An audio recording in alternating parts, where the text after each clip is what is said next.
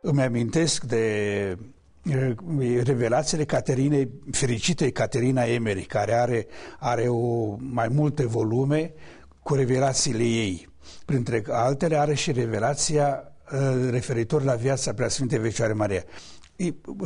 Ea, în revelație, ei a văzut pe Iosif cu Maria la Betleem, într-o, într peștere, dar modul cum s-a născut Iisus dintr-o fecioară, nu. Atât a văzut, Iosif stătea la ușă, deci la o depărtare de, de Sfânta Fecioară Maria care era în clipa nașterii și uh, Caterina a văzut o lumină. Sfânta Fecioară era învăluită în lumină. Și în lumina respectivă, la un moment dat, s-a auzit un scâncet. Era că Isus era născut. Foarte, foarte, că spunem, plastic spus. Deci ea n-a, n-a, uh, a vrut să scoată uh, fericită în evidență și nașterea umană, dar și misterul. Pentru că noi la Crăciun celebrăm un mister. În țara noastră, sărbătoarea nașterii Mântuitorului mai este cunoscută și sub numele de Crăciun.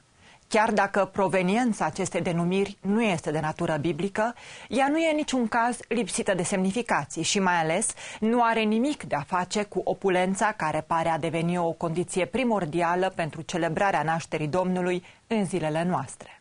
Avem această tradiție, probabil locală, uh, din uh, Ierusalim, care s-a îmbinat ulterior, odată cu răspândirea creștinismului, cu niște precedențe culturale europene. Asta face ca să apară în tradiția uh, populară românească uh, ideea că Mântuitorul s-a născut la curțile lui Crăciun. Crăciun, întâi de toate, un, unii cercetători sus, susțin că vine denumirea aceasta de la creatio, creationis, care înseamnă, vrea să definească actul nou, creator, noua creație, care va avea loc prin uh, nașterea Mântuitorului Hristos, dar nu numai, prin moarte și înviere. Vorbim despre colindele înainte de Hristos.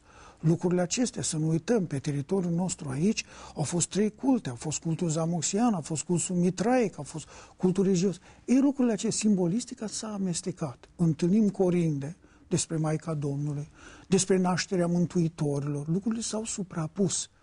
Dar când vorbim despre colindă, este mult înainte de nașterea Mântuitorului Isus, Isus Hristos.